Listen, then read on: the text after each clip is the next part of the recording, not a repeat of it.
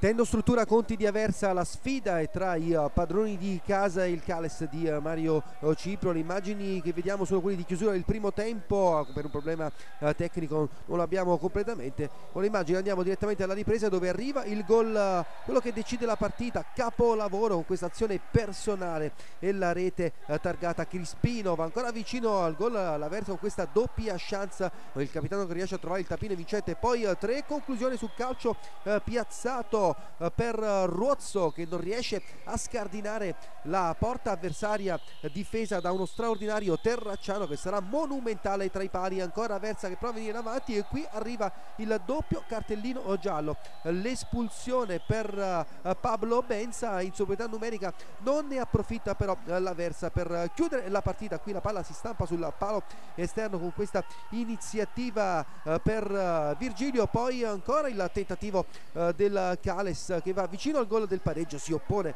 sempre Terracciano tra i pali con questa chiusura a distanza che va a lambire la traversa con la deviazione però sempre di uh, Terracciano con uh, la versa che sulle ripartenze non riesce a realizzare il gol del 2-0 di nuovo Cales pericoloso con la parata sempre di Terracciano insiste il Cales la sfera finisce sull'esterno della rete poi la ripartenza della versa con il salvataggio in estremis dell'estremo difensore zona poi di nuovo il Cales pericoloso con questo questa uh, conclusione schierando il portiere movimento la Versa non riesce a trovare il gol dalla distanza tiro libero fallito uh, dal Cales con Ruozzo l'ultima chance con la parata di uh, Terracciano la Versa porta a casa una vittoria importantissima 1-0 grazie al gol di Crispino nella ripresa